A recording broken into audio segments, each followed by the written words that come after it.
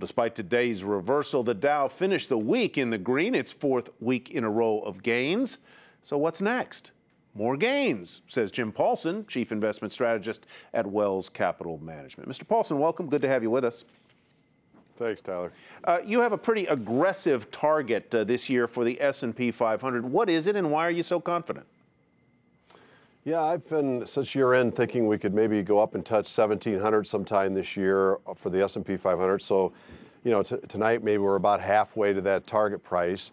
And it certainly won't be a straight line. I, I fully anticipate we'll have some uh, correction along the way here at some point, but I still think we're maybe only halfway to, to where we're going to go this year. I think the biggest driving catalyst, Tyler, this year has been the fact that growth, economic growth, keeps coming in far faster than most people anticipate at the end of the year.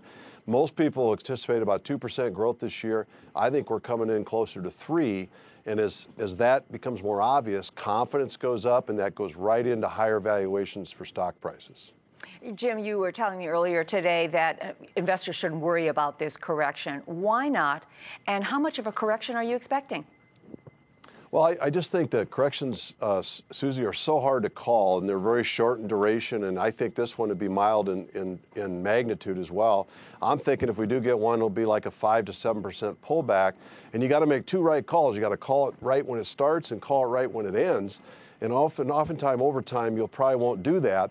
And if you miss it and miss out the, the rally and it goes, let's say, 10% higher from where we are today, I think that you do yourself a disservice. I would prefer to take advantage of market action by either uh, lightening up on those positions that have been strong and, and, and, filtering assets back to positions that have been trailing as opposed to trying to time the market uh, uh, gyrations. You know, overall, you think the uh, a stronger than expected economy is what's going to power the market to higher levels, to that 1700 that you see in the S&P 500. But which specific sectors of the market do you think will lead the way?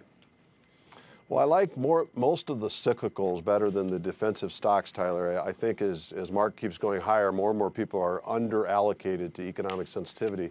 So I really like the manufacturing stocks, the industrials, and the basic materials.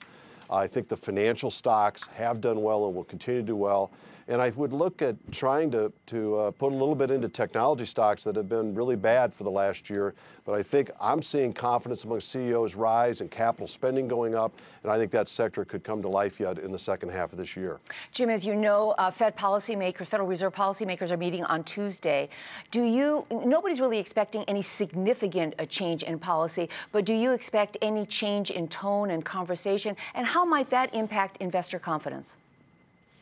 I think so, Susie. Again, I don't think they're going to make any real substantive change at this meeting, but you're already hearing a different tone among Fed members coming out.